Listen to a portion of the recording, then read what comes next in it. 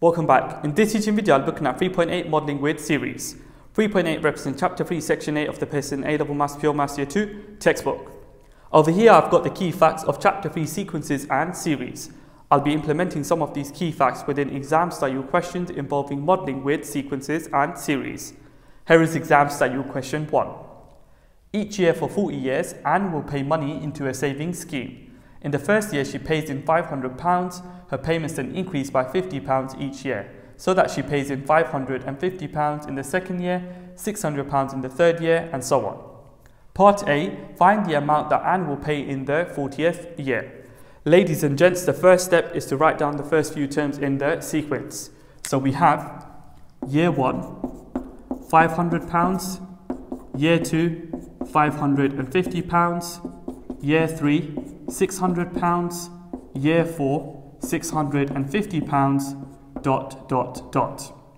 Now over here what we notice is that we have an arithmetic sequence. A, the first term is 500. D, the common difference is 50 because we're increasing by 50 pounds each year. Now in the question we want to work out the amount that Anne will pay in the 40th year. So we're trying to calculate U40. The nth term formula of an arithmetic sequence is given by un equal a plus n minus 1 in brackets multiplied by d. So we're going to apply this formula. u40 is equal a, which is 500, plus n, which is 40, minus 1 in brackets multiplied by 50. So ladies and gents, we can put this into our calculator. So we have that u40 is equal to 2,450 pounds. So the amount that Anne will pay in the 40th year is 2,450 pounds. Moving on to part B. Find the total amount that Anne will pay in over the 40 years. So the key word is total. Now we're trying to calculate S40. Okay, the sum of the first 40 terms in the sequence. Equal we can calculate this using the SN formula, which is a half n open square bracket 2a plus n minus 1 in bracket multiplied by d close square bracket. So I'm going to apply this formula. I've got a half in bracket 40 open square bracket two lots of a which is 500 plus open bracket 40 minus 1 close bracket multiplied by d, which is 50. Close square bracket. So I can put this into my calculator. And if I do this, I get exactly 59,000 pounds. So the total amount that Anne will pay in over the 40 years is S40, which is 59,000 pounds. Let's have a look at part C of exam style question 1. Over the same 40 years, Brian will also pay money into the savings scheme. In the first year, he pays in £890 and his payments then increase by D pound each year. Given that Brian and Anne will pay in exactly the same amount over the 40 years, find the value of D. Ladies and gents, I'm going to write down the first few terms in the sequence for Brian. So we have that in year 1, there is £890. In year 2, there is 890 plus D. We're increasing by D pound each year. In year 3, we have 890 plus 2D. In year 4, we have 890 plus 3D, dot, dot, dot. So over here it says, given that Brian and Anne will pay in exactly the same amount over the 40 years, find the value of D. So we know that S40 for Anne is 59,000.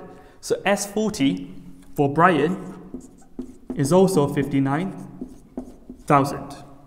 So what we have over here in this sequence is that A, the first term is 890. D, the common difference is just D. Okay, so um, S40, we're going to calculate an expression for S40 using the SN formula for an arithmetic series.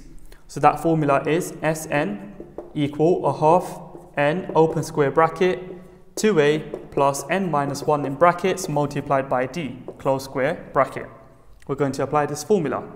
So we have that S40 is a half 40 in brackets, open square bracket, two lots of 890 plus in bracket 40 minus 1 lots of D, close square bracket. This must equal 59,000. We're going to simplify the left hand side and then we're going to solve the equation for D. So if I simplify the left hand side, I've got a half times 40 which is 20. In bracket, I've got 1780 plus 39D. Okay, so that expression must equal 59,000. Okay, so now I can rearrange. I can divide both sides by 20. So I've got 1780 plus 39D is equal to 2950. I can subtract 1780 on both sides. So I've got 39D is equal to 1170. Okay? And so therefore, D is equal to 1170 divided by 39. So if I put this into my calculator, I get precisely that D is equal 30. And that there, ladies and gents, completes part C and exam style question 1. Here is exam style question 2. A company made a profit of £20,000 in its first year of trading. A model for future trading predicts that the yearly profit will increase by 8% each year, so that the yearly profits will form a geometric sequence. According to the model, Part A showed that the profit for year 3 will be £23,328. Ladies and gents, the first step is to write down the first few terms in the sequence. So we have year 1, the profit is £20,000. Then we've got year 2, each year we're increasing by 8%, so the multiplier is 1.08. So in year 2, the profit is 20,000 multiplied by 1.08, comma, dot, dot, dot. So we've got a geometric sequence with A, the first term, 20,000, R, the common ratio, 1.08. We are multiplying by 1.08 each time. Part A show that the profit for year 3 will be £23,328. So we're trying to calculate U3 we can apply the nth term formula for a geometric sequence, and that is un equal ar to the power n minus 1. So we have u3 is equal 20,000 multiplied by 1.08 to the power 3 minus 1. If I put this into my calculator, I get precisely 23,328 pounds. Part B, find the first year when the yearly profit will exceed £65,000. So I want to first of all work out the year N for which the profit is exactly £65,000. Then I know that the next year the profit will exceed £65,000. So UN is equal to A, which is 20,000, multiplied by 1.08 to the power n minus 1 this must equal 65,000. Okay, so now I need to solve for n. I can divide both sides of this equation by 20,000. So I've got 1.08 to the power n minus 1 is equal 65,000 divided by 20,000. This is 3.25. I can apply natural logs on both sides to bring down the power. So I've got ln 1.08 to the power n minus 1 is equal ln 3.25. So now I can apply the power rule to bring down this power. So I've got n minus 1 in bracket multiplied by ln 1.08 equal ln 3.25. So now I can divide by ln 1.08 and then add 1. So n is equal ln 3.25 divided by ln 1.08 and then plus 1. So we've got n equal. I can put this into my calculator and I get n equal 16.3149 dot dot dot. Okay, so find the first year when the yearly profit will exceed £65,000. So the yearly profit will exceed £65,000 in year 17. So that there, ladies and gents, completes part B of exam style question 2. Let's have a look at part C of exam style question 2. Find the total profit for the first 20 years of trading, giving your answer to the nearest £1,000. So the key word is total, and we're looking at 20 years. Hence, we're calculating S20. We can apply the SN formula for a geometric series, which is A multiplied by 1 minus r to the power n in brackets divided by 1 minus r, where r is not equal to 1.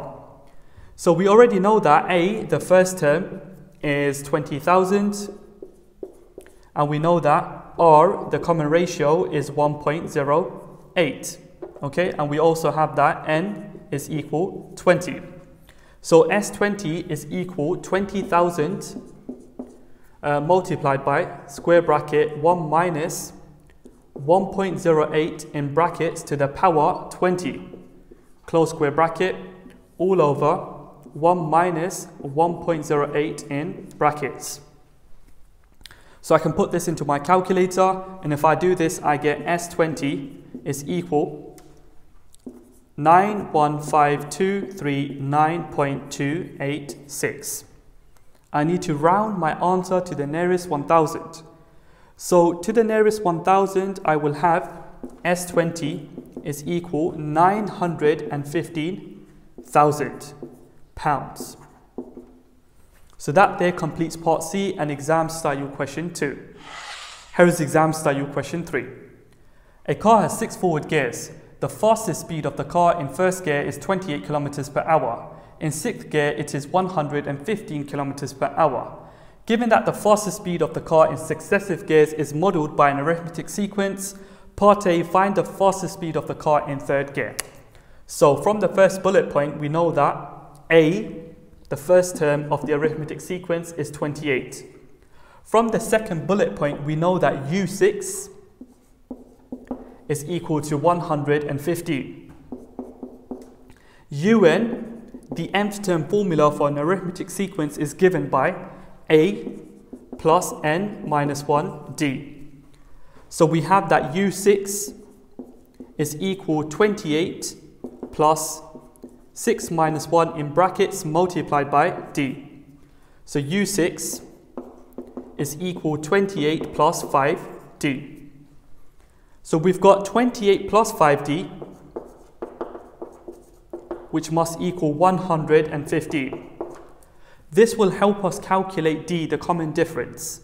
So we have 5D is equal 87, hence D is equal 87 divided by 5. So D is equal 17.4. Now what we want to do is find the fastest speed of the car in third gear. We are trying to calculate U3. So U3 is equal 28 plus 3 minus 1 in brackets multiplied by 17.4. We can put this into our calculator and if we do this we get U3 is equal 62.8 kilometers per hour. So the fastest speed of the car in third gear is 62.8 kilometers per hour. Let's have a look at part B of exam style question 3. Given that the fastest speed of the car in successive gears is modeled by a geometric sequence, Part B, find the fastest speed of the car in fifth gear. So from the first bullet point, we have that A is equal 28. From the second bullet point, we have that U6 is equal 150. Now UN, the nth term of a geometric sequence is given by A r to the power n minus 1. Hence U6 is equal A, which is 28, r to the power 6 take away 1, which is 5. Now this implies that 28 r to the power 5 must equal 150. Now we can solve to find the common ratio. Okay, so we have that r to the power 5 is equal 115 divided by 28.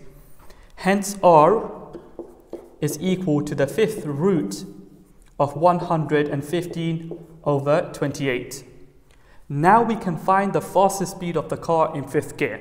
In other words, we're trying to calculate U5. So U5 is equal 28 multiplied by the common ratio, which is the fifth root of 115 over 28, to the power, okay, we have 5 take away 1, which is 4. Hence U5 is equal, we can put this into our calculator, and if we do this, we get 86.7 kilometers per hour to three significant figures. This completes part B and exam style question 3 as well as this teaching video 3.8 modeling with series. Now if you found the video useful, please don't forget to subscribe, leave a like, leave a comment, turn on your notification bell so that you receive notifications every time I post a new teaching video.